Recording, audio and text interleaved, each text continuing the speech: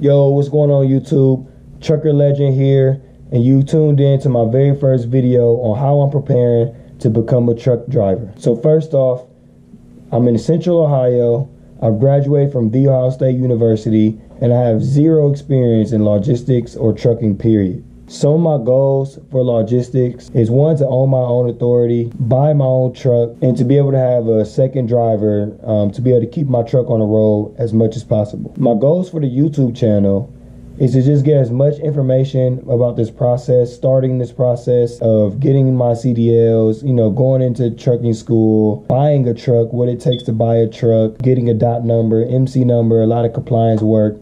So really I want to be able to document my whole process step by step and be able to share this information uh, with you all. I think it'd be very valuable to, you know, new truck drivers or maybe even veteran truck drivers that haven't got to that level yet but are looking to do some of the things that, that I'm set goals to do, as well as to be able to network with other truck drivers. Hopefully, I'm able to capture the market of veteran drivers. They're able to make uh, comments on my YouTubes um, channels to you know to give me more information, uh, more background. If they've been through the similar situation I'm, that I'm talking about, they're able to add some value there, um, make comments there on which ways I should go or or um, any just valuable information um, that can be utilized by me or my viewers. So there's three main things right now that I'm doing to prepare myself to be a truck driver. First off, I'm Googling and I'm YouTubing pretty much everything about trucking, logistics, um, owning your authority, what it takes to buy a truck. I'm getting familiar with uh, truck vloggers that's already out there. Um, One Rich, man, that guy uh, has added so much value to um, and knowledge to what I got going on. Um, he done been there. He's been in the game for a few years now. Um, he posts consistently. So I've been YouTubing and Googling you know, just little information about um, owning trucks, what type of engines you want. You know, I'm hearing about Detroit, been hearing about Macks. So just trying to get familiar with the terminology, like authority, um, you know, just some of the vocabulary that goes along with logistics. Um, I've been doing my due diligence, uh, you know, staying on Google, staying on YouTube, and just trying to soak up as much information as possible. Secondly, there's two apps. I have them pop up on the screen probably to uh, you know, my left and my right. There's two apps I use on my phone. If you got, um, you know, iPhone or you got any type of smartphone, go to your app store, download these two apps. So my first one is CDL Prep. Again, that's just CDL Prep. You should search it. And it's a blue box and it'll have a gray steering wheel. I have a picture of the app um, posted here. So it should help you out, uh, help you locate that app. My next one is just called CDL and I just got this one, and I, honestly I like it a little bit better. And um, this one I actually was Ubering the other day, and one of my Uber passengers uh, just so happened to be a, a, owner operator, and I was telling him, hey, I'm looking to get my CDLs. And he said, do you got this app? And he shared it with me, and it's just called CDL. It's a red box, and it has CDL prep in white. Um, once again, I will be sharing the picture up here, so right here, right here, should be there. Lastly, the third thing I've been doing, I've been doing a ton of research on the different trucking schools that's here in my area. Being in Central Ohio, the logistics is just booming here. So there's like, I don't even know, There's gotta be 20 plus schools um, available to go to. So some of the things that I'm looking for in the schools is financing options. Some of the schools offer opportunities to be signed on to a company. So you'll sign a contract to a company. You'll already have a job once you graduate from this from the classes, and they cover the fees to get your CDLs. I've been looking in, in Central Ohio. I'm not sure if it's the same for everywhere else. You're looking at the lowest I've seen was 4,100 and then I seen a high of eight thousand dollars just for trucking school. So for some people, you know, that ain't got the money to pay out of pocket, having that financing available to be able to sign on to a company, hey, that might be the route you want to take. Me specifically, I believe that's the route I'm gonna take. And then there's a third option of financing. I haven't seen it here in Central Ohio, at least for what I'm trying to do.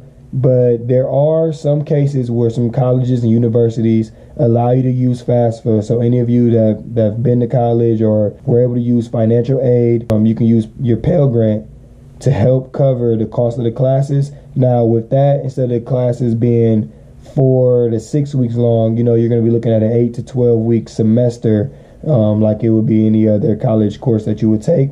So, depending on your situation, your scenario, hey, that might be an option for you. Like I said before, it's looking like I'm going to sign a contract for a year with the company, choose to stay on with that company. Now, the only thing, only issue with signing that contract is if you neglect the contract um, or you break the contract, then the company will come back and say like I sign up and if I were to pay out of pocket, it cost me forty five hundred.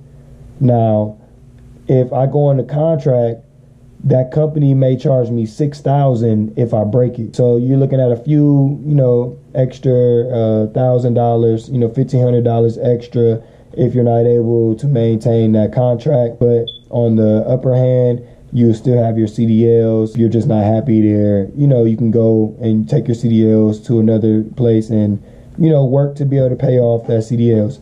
So the three things that I'm doing to help me prepare to becoming a trucker is research, research, research. Google, YouTube, just trying to find as many resources out there as I can, asking as many truck drivers the, the questions, hey, how is it out there? How is it on the road? How is it when it's icy? How is it when it's cold? You know, just the, the questions you need to know before you just jump off into the industry. Two, I'm using those apps to be able to help me pass the the written portion of the test at the DMV. That's CDL and CDL prep. From what I've heard, CDL literally gives you the test questions that are actually given at the DMV. So I, I feel very comfortable with studying through them. And then lastly, just getting familiar with the trucking school options that's in my area. I haven't committed or signed up yet, but 160 Driving Academy. Um, I, I, met with the manager up there, Bernie. He's been, you know, helpful as far as answering all my questions. In fact, I have some of the things here with me that he gave, some of the resources he gave with me. Boom. So he gave me the actual Ohio commercial driver license manual, which is very helpful when you want to, you know, just digest and dig in some of that, some of the information and, legalities of logistics. Boom. He gave me this sheet, which shows the app on here that I've downloaded. Actually got that from him. And he let me know. Boom. So the general knowledge will have 50 questions. I need 80%. The air brakes will have 25 questions, and then the combination will have 20 test questions. So he's letting me know what's ahead, how to study for, and uh, where to go to take my test, the written portion. He also gave me a pre-trip inspection sheet, which literally goes through all of the components of um, the truck, the steering, suspension, brakes. So these are really great resources right here that I got when I just went in there. I didn't have to sign nothing, I didn't have to pay no money. I just went in there, told him I'm interested in getting my CDLs. And um, yeah, he left me with this. Boom, the pre-trip just in writing. So everything that, that you have to say and conclude and look for on the pre-trip, he gave it to me all in writing. Um, obviously, when I get into the classes and I get under the truck and I'm able to see everything, then I can get more familiar with what is what um, as far as being able to touch it, see it uh, for myself. But at the end of the day, these three resources, just by going up in there, letting know I'm interested, have been very helpful with me just studying, uh, with my confidence going into an industry I have nothing, no clue about, but I'm able to, you know, just get some some information from um, the schools that are going to help me and build my confidence when I'm going in there, and, and I know a little bit about what they're talking about. So this concludes my first video how i'm preparing personally if you got any tips for me how also um, i could prepare myself better for the written test for the driving portion or just even having to stick it out and being in that school um, please leave it in the comments below as well as subscribe now subscribe now i'm telling you right now you don't want to miss out on some of the things i'm going to be doing some of the access i'm going to be showing everybody here for youtube as far as what it takes to to be successful in the logistics industry, being a, a truck driver, the issues, the highs and the lows, whether it's how much money we make per load or what in, what problems I'm having. Maybe it's the engine, maybe it's the tire blown. What to do in these cases. Um, I'm gonna vlog and, and, and, put it out there for everyone to see. Um, so subscribe now. You're here with Trucker Legend. Um, hey, I'm here for the people to bring you value. Any value you can bring me, please leave in the comments, subscribe, share the channel. Um, other than that, man, y'all enjoy yourselves. Be back next time.